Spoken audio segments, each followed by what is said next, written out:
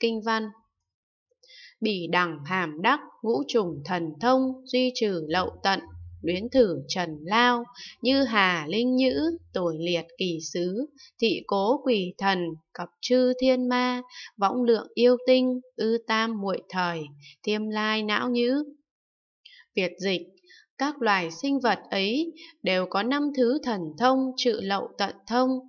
Đường luyến tiếc cảnh trần lao làm sao nó chịu để cho các ông phá hoại chỗ ở của nó. Vậy nên các loài quỷ thần, thiên ma, ly mị, võng lượng, yêu tinh, trong khi ông tu pháp tam muội chúng đều muốn đến phá ông. Giảng Bây giờ các ông đã hiểu rồi chứ vì sao loài ma lại đến phá. Chỉ vì các loài sinh vật ấy đều có năm thứ thần thông, thiên nhãn thông, thiên nhĩ thông, tha tâm thông, túc mạng thông, thần túc thông, trừ lậu tận thông mà thôi. Nếu nó có lậu tận thông nó sẽ không quấy rầy ông nữa đâu. Nhưng vì không có lậu tận thông nên nó vẫn là kẻ ác, vẫn muốn đến phá hoại người tu đạo. Điều đó nghĩa là sao? Tôi sẽ giảng rất tường tận về điều này. Gọi là lậu tức là những suy nghĩ lan man. Đàn ông nghĩ về đàn bà, đàn bà nghĩ đến đàn ông. Nếu quý vị không kết thúc những suy nghĩ lan man này, thì chẳng thể nào tự mình thoát khỏi lậu hoặc được. Bây giờ tôi sẽ giảng điều này sâu hơn và tôi sẽ nói rất chân thực. Nếu tôi nói không chân thực thì ông chẳng bao giờ biết được lậu hoặc thật sự liên quan đến mình như thế nào. Thoát khỏi mọi lậu hoặc có nghĩa là còn giữ được nguyên vẹn bản chất của mình. Nếu đánh mất bản chất của mình, có nghĩa là bị lậu hoặc. Bây giờ tôi sẽ nói rõ bí ẩn của trời đất.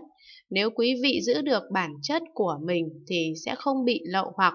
Hơn thế nữa, không những ngăn ngừa được bản tính của mình khỏi bị mất mát, mà còn có khả năng dứt được những ý tưởng dâm dục ngay trong tâm niệm rất vi tế. Được như thế thì thật sự quý vị đã thoát khỏi mọi lậu hoặc. Bây giờ quý vị hiểu rồi chứ, tại sao thiên ma không được tự tại thoát khỏi mọi lậu hoặc? Vì chúng còn niệm tưởng dâm dục. Quỷ thần cũng còn niệm tưởng dâm dục ấy vì nó đang còn luyến tiếc cảnh trần lao. Trần lao đơn giản là một dạng của dâm dục, đó là những gì nó đang tham luyến, làm sao nó lại chịu để các ông phá hoại chỗ ở của nó, vì nó vẫn còn tham luyến dâm dục. Nên nó không muốn nhìn thấy các ông đoạn tuyệt với chúng. Chúng nó muốn ông cũng tham đắm vào sắc dục. Nó sẽ nói, Hai chúng ta là bạn thân của nhau, ta sẽ không đoạn tuyệt với sắc dục đâu, vậy ông không nên từ khước nó. Đó là lý do tại sao ma quỷ lại đến, nó đều không muốn các ông vượt qua cảnh trần lao này.